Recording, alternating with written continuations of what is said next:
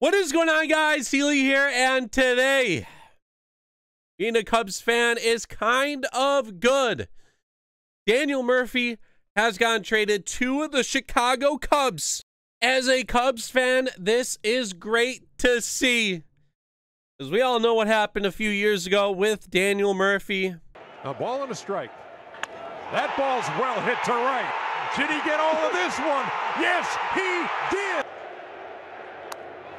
That's in the air to right. That's pretty deep. That ball is gone. Every zone. And this ball is drilled to right center field. It is deep. Man alive, Daniel Murphy. 1 1. In the air. Deep right center field. That ball is gone. Daniel Murphy. And it's good to have Murphy on the team. He got traded for a player to be named later or cash and an infielder named Andruw Mon- Monasterio, uh, who isn't really much of a haul for the Nationals. Cubs are only getting him for August, September, and the playoff run. So they didn't have to give up much. What Daniel Murphy brings to the table, he has a 300 average on the year. That is amazing. He's going to fit in just fine with that bat. Also, before we get into it, this is a Kobe shirt. Not not a Lakers fan. I, I just like Kobe, so I apologize for the shirt in the video. The only person on the Cubs roster right now with a 300 average or higher is Ben Zobrist. He's only played in 102 games, 378 at bats, or plate appearances on the year. But everyone else is doing just all right. Daniel Murphy can play second base. He could play first base for you. He could play third base. Third base, I really would not want Daniel Murphy playing there. But if he asked to for maybe a game or so, someone needs some rest, I would toss him there. But there should be no way he would be forced to play there with having Baez, Ian Happ. It was not the best at third. David Bote, that could move to third. I, I don't see him moving anywhere besides second or first base when Rizzo needs some rest. Addison Russell has really struggled this year.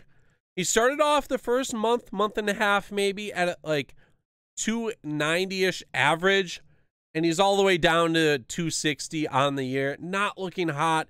The past few games, he's looked kind of lost up at the plate. And bringing on Daniel Murphy, and with KB being out of the lineup, uh, we should have Daniel Murphy at second, Baez at short, David Bote at third base. That would be the dream lineup infield as of now with Rizzo at first. Baez could be moved anywhere around the infield. He's having a stellar year. Uh, Albert Almora is playing hot. Ian Happ is struggling. He does not seem to do anything productive in the lineup. Whenever he does do stuff, it does seem like the game's already over. But Ben Zobrist is playing pretty well. Tommy La Stella, uh, he he's been doing pretty decent. He could play second, third. Not as good as Daniel Murphy, but similar style in a sense. It's gonna be interesting who they move down to the minor leagues. They do have to move someone, and the Cubs have said that it's gonna be someone with minor league options. I would not think Bote would get moved down.